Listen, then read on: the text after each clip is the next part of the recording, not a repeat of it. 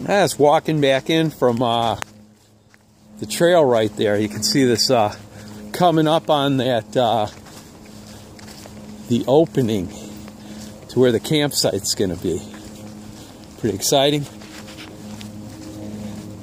Pratt's Wayne's Woods, campsite one. Um,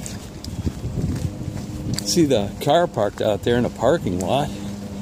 Man, if I pan over here just a little, see there's the wood there. This is what the campsite looks like a little bit here. It's looking okay. Yeah. I pan around here just a little. And you can see, man, that's the campsite. Yeah, back down the road where I came from, and right up there is the bike trail.